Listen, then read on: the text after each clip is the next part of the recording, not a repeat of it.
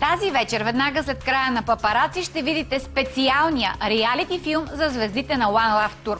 Ексклюзивните кадри и смешните моменти в лентата са гарантирани. Но преди тях, вижте финала на турнето в София. След като разруши всички граници и предразсъдъци, след като превърна любовта в кауза, дойде време да дадем финал. Но не и краят на One Love.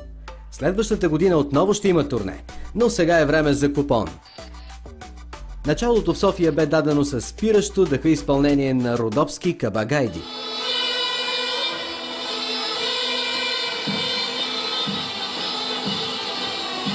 Разтърсващата емоция продължиха абсурд. Разбира се, че в София само софийските момчета Бад Венци, Бучи и Цухазарта могат да бъдат хедлайнери. Nema kiti, nema, nema kiti Skoro levo da si si opetki Песни, танци, пияни шматки Е цирка, каква ми сирка след тях штафетата пое Тони Зен, за когото хип-хопа му може и да не е по-лош от абсурд, но твърди, че му носи свобода. На сцената се появява Гери Никол и вече нищо не е същото. Блондинката е зашеметяваща и много секси. Черно мрежесто боди и две хубави звезди. Така бихме перифразирали поета.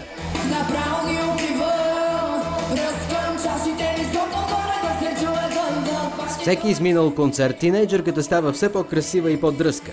Жалко, че турнето свършва. Но предстои ново шоу и сигурни сме Гери Никол отново ще ни убива.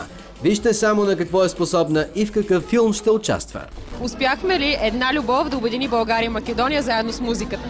Да, успяхме и според мен ще успяваме все повече и повече всички други следващите години, които ни предстоят да правим това турне. Това е само началото на голямата империя. Подготвям нови парчета, това е ясно. Но по-интересното е, че ще участвам във филм. Хората могат да видят Гера Никола в една нова светлина, което е супер за мен. Сега да не вземеш да оставиш пеенето и да ставаш актриса. Не, няма да го оставям, но искам да го комбинирам. Скоро ще мога да видите филма по кината и на премиерата също може да дойдете, поканени сте. За сцената е готов и сладкаристика, но преди това трябва да отдели време и за феновете си. Трима гости-изпълнители превърнаха шоуто в още по-вълнуващо преживяване за феновете на българската музика. Рапърът Ди и тин сензацията Тита бяха посрещнати с бурни овации.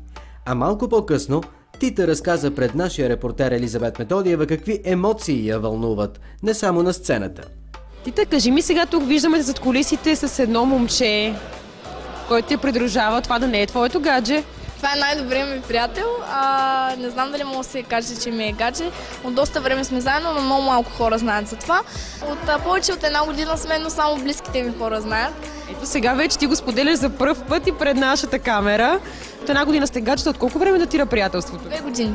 Две години приятели, повече от една година сме заедно и съм много щастлива. Подкрепя ли те той? Видяхме го, че тук през цялото време е с теб непрекъснато. Да, много, много ме подкрепя и както виждаш, аз започнах изречението, че ми е най-добрият приятел. За мен това е най-важното. И пожелавам на всички хора, на теб и на зрителите, а, наистина се чувстват много обичани, затова точно подкрепям това турне, защото смятам, че любовта и музиката вървят ръка за ръка.